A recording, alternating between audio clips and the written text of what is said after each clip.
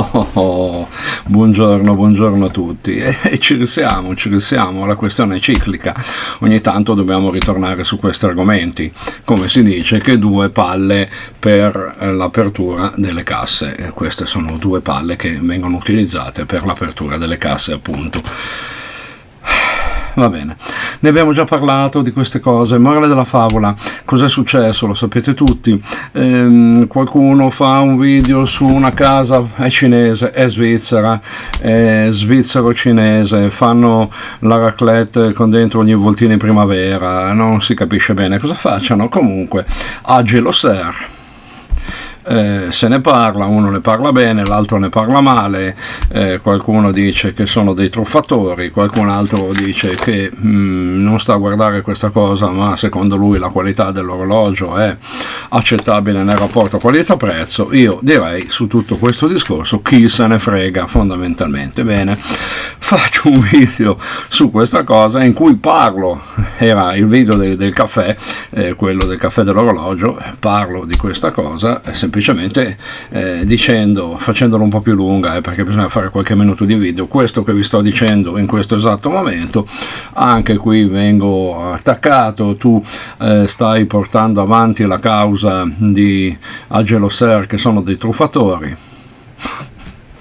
ho fatto vedere dei loro prodotti, ho fatto vedere dei loro video, poi uno si farà le sue idee. Eh, però niente, insomma, io peroro, peroro che con la mia R è una cosa difficilina dire peroro eh, peroro tra l'altro eh, per chi conosce la zona qui dell'Interland milanese sa che questo è un percorso da pero a ro ma non è importante. Eh, la causa appunto di Agelo Ser che loro eh, hanno detto delle cose false nel passato pertanto sono dei truffatori. Qui come dissi già nell'occasione precedente, occhio perché se andiamo a vedere cosa si è detto, eh, quali affermazioni si sono fatte e qual è il livello a cui uno diventa un truffatore, eh, insomma, parliamone. Mm, massimo rispetto, eh, nessuno pensi che io eh, non ho massimo rispetto e considerazione per una, una, casa importante. Ad oggi in termini di fatturati e di produzione di orologi, la casa, cioè i signori con la corona, eh, tanto per non fare nome Rolex, ecco, Rolex e le sue cose nel tempo non proprio precise le ha dette e questo non li sminuisce minimamente. Ho fatto un video e non l'ho fatto soltanto io, l'aveva fatto prima di me eh, Marco Beltrano Beltrandi un video sul fatto che Rolex ha sempre sostenuto di aver fatto il primo orologio impermeabile, non è assolutamente vero, eh, vi ho poi anche fatto vedere chi l'ha fatto e la riedizione di questo orologio fatta ora da, mh, mm, dagli svizzeri di Watch Angels. Eh, eh, Rolex ha sempre detto che è stato il primo orologio ad arrivare su K2, ancora la questione, chiedo scusa sull'Everest, ancora la cosa non è chiarissima, eh, se la sono giocata loro e lo Smith e anche qui direi chi se ne frega, anche su questo l'orologio sull'Everest c'è un video, guardate i video ragazzi, io cosa li faccio fare? Va bene, e, mh, mm, ce n'è, Rolex... Eh, massimo rispetto e considerazione, per tantissimo tempo non ha detto eh, e non ha mai voluto dire eh, chi sono i suoi eh, azionisti eh, chi possiede Rolex, no, perché poi andiamo a fare giustamente eh, eh, massimo rispetto per chi le fa e complimenti a chi le fa.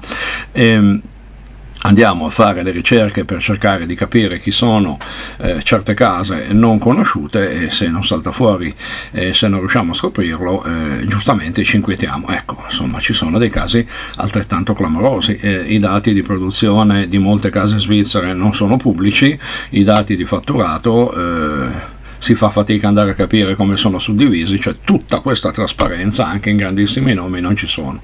Eh, eh ma loro poi non danno l'assistenza, a Geloser non lo so, eh, ripeto, non ho orologi loro e penso che non ne comprerò, quindi concettualmente non me ne può fregare di meno, eh, però anche qui ci sono stati non pochi, pro- non pochi problemi con l'assistenza in case eh, assai importanti e eh, assai blasonate, ok? per cui insomma di che cosa stiamo parlando? Eh, non si capisce. Non si capisce. E rimane il discorso, io faccio un'affermazione per cui sono stato contestato, gli orologi sono tutti belli qualcuno ha detto eh, se uno dice che gli orologi sono tutti belli è perché ci capisce poco.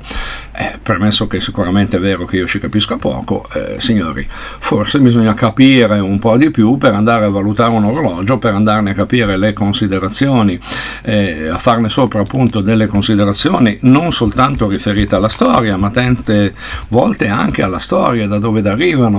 Eh, per andare ad apprezzare o meno un certo tipo di eh, orologio, eh, sicuramente un orologiaio che apre un orologio e ne fa una valutazione tecnica è in grado di dire, presumibilmente se non mi racconta delle minchiate a prescindere, eh, è in grado di dire guardate che questo orologio ha, magari a dispetto del costo basso, delle soluzioni tecniche o comunque eh, delle, ehm, delle, particolarità apprezzabili e valide. Ecco, eh, forse serve più quello eh, come, come, competenza o comunque come considerazione e, e, conoscenza della storia orologera che non dire questo mi piace perché me l'ha detto il mio papà, questo mi piace perché eh, me l'ha detto eh, il mio spacciatore di orologi di fiducia. E va bene, però il mondo è bello, è fantastico, YouTube è ancora più bello perché permette a tutti di parlare e la cosa ci riempie di gioia. E, mi piacerebbe tanto se questa cosa però fosse, non fosse anzi più eh, la scusa, la, eh, il presupposto perché eh, diversi youtuber in qualche modo trovassero il modo di attaccarsi. Ecco, questa è una cosa abbastanza antipatica. Si può avere vi faccio una grande rivelazione, si possono avere delle idee diverse pur eh, rimanendo amici, pur rimanendo eh, eh, in relazioni pur continuando a nutrire rispetto reciproco, rispetto reciproco che io ho di fatto per tutti gli altri youtuber. Eh, il solo fatto che si sbattano e si rompano le scatole senza interessi, vabbè, diciamo senza interessi, ehm, per fare eh, così, per condividere una passione e una conoscenza è già oggetto di tanto di cappello. Tanto di cappello. Quindi appunto mi levo tanto di cappello, eh, evidentemente. Come sapete io non ho nessun interesse a spingere il discorso degli orologi cinesi, che state a dire, lavoro in Svizzera addirittura. Quindi, come vedete così dallo sfondo, il tempo vola, eh, utilizziamolo per delle cose più interessanti. Misuriamolo con gli orologi che più ci piacciono. A tal proposito, come avete visto, io oggi ho questo... Eh, discutibile Pagani Design che avevo preso eh, confidando in un, per così, come sillogismo, in una sua notevole eh, rivalutazione in funzione del fatto che fosse di questo simpatico eh, turchese, lilla, eh, azzurrino, eh, che ne so, sono daltonico, come faccio a sapere queste cose? Ecco, perché eh, case, una casa eh, già citata, assai blasonata, con una eh, siffatta operazione, eh, non fatta da loro, fatta dai suoi seguaci, ha avuto una grande rivalutazione perché ha fatto un modello di un orologio, di cui questo è l'evidente spiccato e smaccato omaggio, che siccome un'altra casa aveva fatto la versione per Tiffany di questo colore che aveva un grande valore perché l'aveva messo all'asta allora hanno fatto anche loro quella di questo colore e gli altri hanno detto ah ma se è dello stesso colore allora può valere migliaia di euro in più boh, non ci ho capito niente e questo è rimasto al suo prezzo. Eh, vabbè, mi è andata male. Eh, però, ecco, mentre chi scrive o fa delle affermazioni magari non sempre preciso è un eh, giustamente, eh, perché chi dice delle stupidaggini va censurato, eh, però è un truffatore. Eh, queste grandi operazioni, queste prese di valutazione incommensurabili e incomprensibili invece fanno parte della logica della normalità e della correttezza, così come il discorso dei rivenditori, i reseller, eccetera, eccetera. Vabbè, lasciamo stare. Um, affermazione di nuovo signori adoro Rolex. Un giorno vi farò un video eh, sui Rolex su quanto mi piacciono. Ho già fatto un video sulla storia del Daytona eccetera. Eh, serve per ragionare insieme e nient'altro. Benissimo vi sarete già giustamente frantumati gli oggetti che servono per aprire le casse degli orologi, questo lo capisco. Eh, come la penso sugli omage è inutile che eh, oltre a quello che vi ho già detto stia qui a farla lunga vi metto poi alla fine il collegamento per andare a vedere un video di un po' di tempo fa ahimè tristemente attuale sarebbe stato bello se l'avessimo superato tutti insieme su eh, così, la discesa negli inferi del mondo degli omage non mi resta che salutarvi e Dir, che dirvi? Che dirvi?